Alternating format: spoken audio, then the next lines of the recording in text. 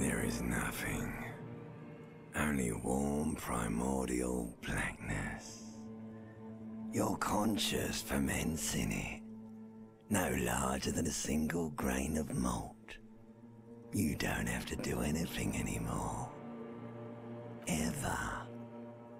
Never, ever. Never, ever, ever, baby. An inordinate amount of time passes. It is utterly void of struggle. No ex-wives are contained within it. You got it, sweet brother. Nothing upon nothing upon nothing. Coming right up, sir.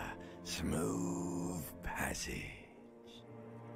Alright, nothing town to fuck all borough.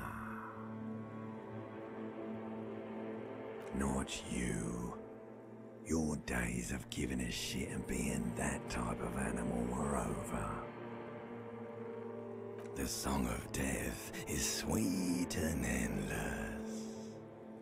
But what is this? Somewhere in the sore, bloated man meat around you. A sensation. Like a fly to the ointment, your conscience sticks to it. The limbed and headed machine of pain and undignified suffering is firing up again.